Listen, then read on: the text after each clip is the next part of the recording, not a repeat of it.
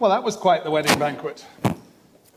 So there's an ox roast going on over there, and there's fatted calves being slaughtered and cooked over here. There doesn't seem to be a vegetarian option at this wedding, but that's maybe the least of our worries at the moment. For the host has taken umbrage because not enough guests have turned up. And he's sent the boys out to sort it out. Not only that, but the guests have seized the big man's people and beaten them up and killed them. And so he sends in the heavies, destroys the murderers, and burns down the town. Now that's quite a wedding.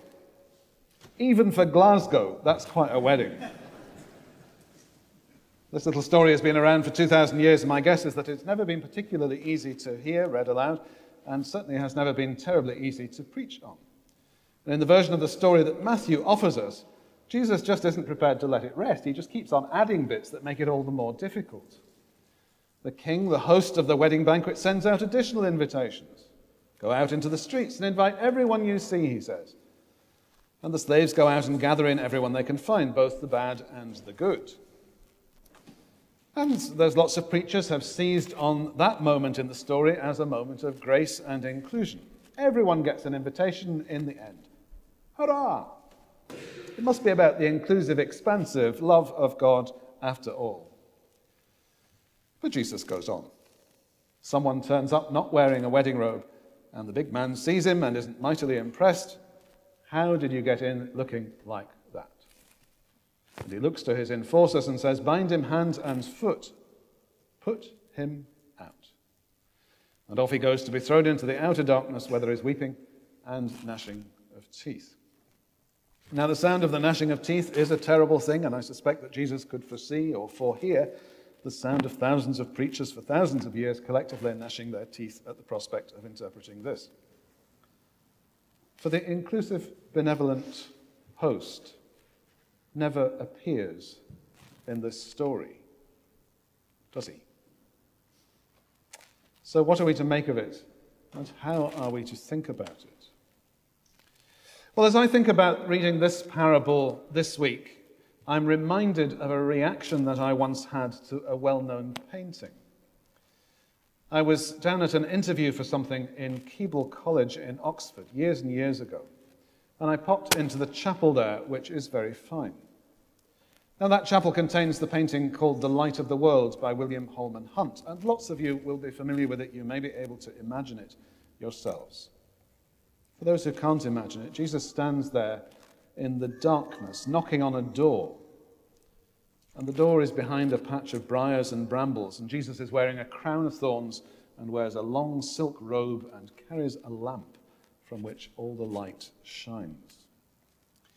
Now, I know that it's a painting which is an object of devotion to many people, probably one or two here, and there's still queues to see it when it is shown. But I remember looking at this spooky depiction of Jesus and instantly thinking, well, if Jesus comes knocking on my door in the middle of the night looking as weird and as creepy as that, then I'm never going to let him in. I would bolt the door from the inside. I'd look for ways to shut him out. You see, the way that we picture God matters. Really, really matters. Going back to the parable, I think that my problems start right at the beginning if we presume that the big man, the king, is the same as the God whom we worship. For I know for sure that I'm not much interested in a God who is involved in keeping slaves. I'm not much interested in a God who engages in violence. I'm not much interested in a God who provokes acts of terror and burns down whole towns in his anger. I'm not much interested in a God who compels people to come to the feast on the threat of violence if you don't turn up. I'm not interested in a God whom you have to dress up for, and I'm not interested in a God who consigns people to hell.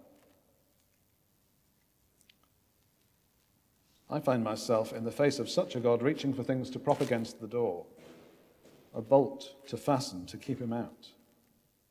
I'm not letting that image of God anywhere near my spiritual life. I'd rather set up a barricade against him. So, how am I to read it today? What am I to make of it? What to do with this story? I spent nearly 15 years of my life trying to get access to weddings for those who were told that they were not welcome at the wedding banquet.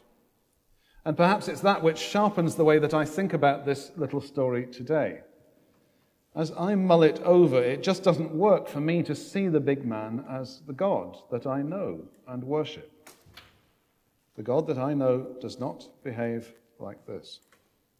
Instead, I find myself thinking of the ways in which religious communities try and get over the message to the people that they are trying to welcome to the feast of life week by week.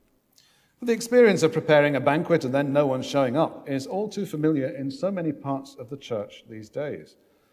And the response of many Christians when no one shows up is very grumpy. We put on everything for you, they shout into the darkness, and still no one comes and turns up. The people don't turn up to the feasts that religious people put on for good reasons, perfectly good reasons. Religion, including our religion, has been responsible for acts of terror and violence. Religious people have lashed out through the centuries at those who are different. And these days they lash out at those who are indifferent as well. But God's mission in the world is a mission of love. But God always hasn't had terribly good representatives on earth to preach it. There are still plenty of people in this world who, instead of understanding the news that God's love is expansive and generous and wonderful, have received the news either that they were never invited in the first place or that they wouldn't fit in if they did turn up. Going back to the parable and taking another look, I find myself reading the story of the man who turned up not wearing the right, right robe as the story of someone engaged in an act of some defiance when either God or the church gets dressed up in the guise of a tyrant, none of us should be willing to wear his uniform. I'm reading the story of that man being thrown out in the darkness today as the story of someone who stood up to a tyrant, who stood up to someone who was violent and cruel. It's the story of someone who was thrown out for standing up to an oppressor.